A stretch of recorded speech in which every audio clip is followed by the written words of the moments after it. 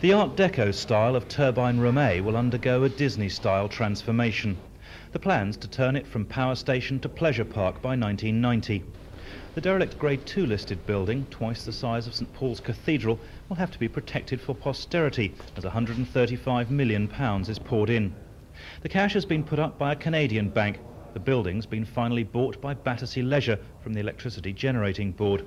And BR's agreed to join in with providing a direct rail link from Victoria to help cope with an estimated 3.5 million tourists a year. The extravagant PR's already started. Building work should follow soon.